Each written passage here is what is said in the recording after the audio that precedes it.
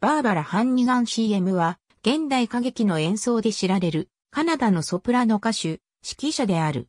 ハンニガンが初めて音楽教育を受けたのは、彼女の故郷である、ノバスコシア州ハリファックスのウェイバリーの音楽教師からである。ウェイバリーで育ったハンニガンは17歳でトロントに移った。1993年にトロント大学音楽学部を卒業し、1998年に音楽修士号を取得した。その後バンフ芸術センター、ラビニア音楽祭の若手アーティストのためのスターンズインスティチュート、オルフォード芸術センターで学び続けた。また、ハーク王立音楽院で1年間学んだ。ハンニガンは現代音楽の演奏で知られている。若い頃から現代音楽を擁護し、17歳で初の世界初演を果たした。2011年時点で約75曲の現代曲を初演している。ミシェル・ファンデルアのワン、フリードリヒ・チェルハの歌曲集、アウフ・デアズヘナー・ハマイネム・ゴシクと、ジェラルド・バリーのラプラス・フォルテなどがある。ハンス・アブラハムセンは、ハンニガンのために公共歌曲集、レミー・テリューを作曲している。特に、リゲティジェルジュのマキャーブルの謎では、2011年から声楽に加えて指揮も務めるようになった。現代歌劇では、ルイ・アンドリーセンのフェルメールへの手紙、ジェラルド・バリーのペトラ・フォン・カントの苦い涙、真面目であることの大切さ、ヤン・ファンデプテの湿った雪、クリス・デフォールトの眠れる森の美女たちの家、ジョージ・ベンジャミンの肌に書いたものなどの初演に出演している。細川敏夫の小風やパスカル・デュサパンの情熱では、振付家のサーシャ・バルツと共演している。アルバンベルクのルルでは、ポアントを使ったダンスを披露し、高い評価を得ている。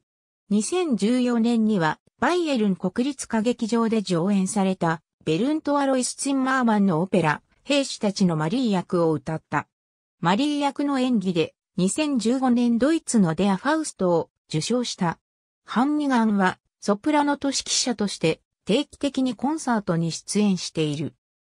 これまでにベルリンフィルハーモニー管弦楽団、ミュンヘンフィルハーモニー管弦楽団、ロンドン交響楽団、トロント交響楽団、フランス放送フィルハーモニー管弦楽団、エーテボリ交響楽団、プラハフィルハーモニー管弦楽団、マーラー室内管弦楽団、アバンティ、室内管弦楽団、サンタ、チェチーリア国立アカデミー管弦楽団、ブリテンシンフォニア、グルベンキアン管弦楽団、クリーブランド管弦楽団と共演している。アムステルダムのコンセルトヘボーでのルートビフ管弦楽団との指揮デビューで、ソプラノと指揮者としての演奏が評価され、2014年、オバティ賞を受賞した。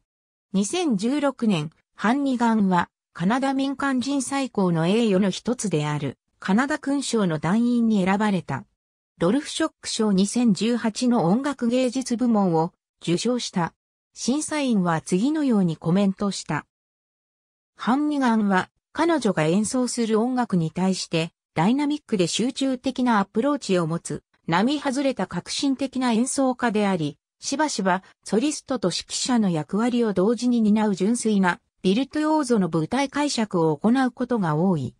彼女のレパートリーは印象的な分野をカバーしており、新しい音楽にも大きな関心を寄せている。数年にわたり、彼女はまた世界中の若くて新しいプロの音楽家に焦点を当てたユニークなメンタリングプロジェクト、イーキリブリアム・ヤング・アーティストを運営している。その他の受賞には、パーシナリットミュージカルでエルアネ、シンガー・オブ・ザ・イヤー、ドイツレコード批評家賞2018年などがある。ハンニガンは以前、オランダの演劇演出家、ギース・デ・ランゲと結婚していた。2017年からは、フランスのパリに在住している。2015年からは、フランスの俳優マチュー・アマルリックと長期交際中である。ありがとうございます。